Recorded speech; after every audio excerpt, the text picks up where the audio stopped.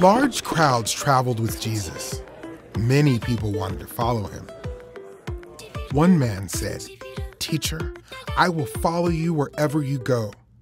Jesus told the man, Foxes have dens and birds of the sky have nests, but the Son of Man has no place to lay his head.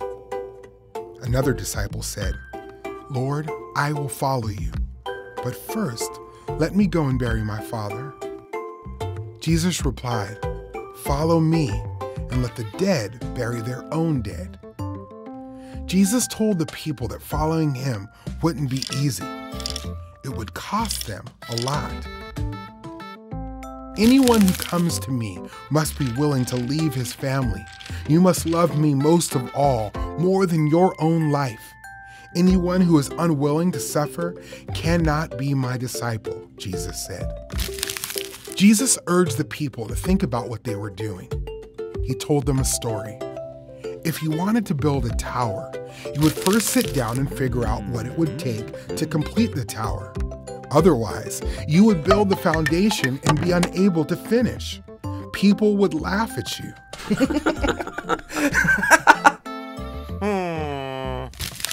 then he told them another story.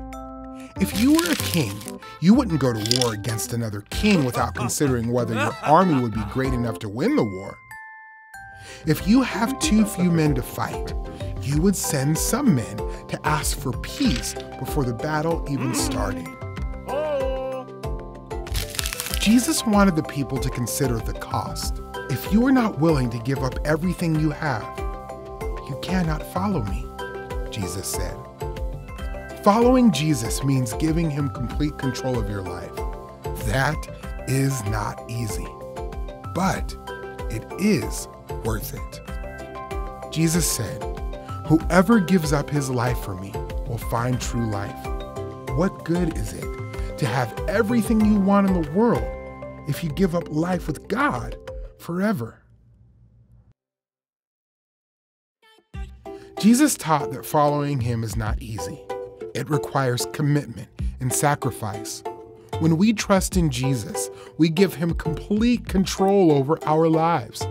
True life is found in Jesus, who gave up his life to rescue us from sin and death.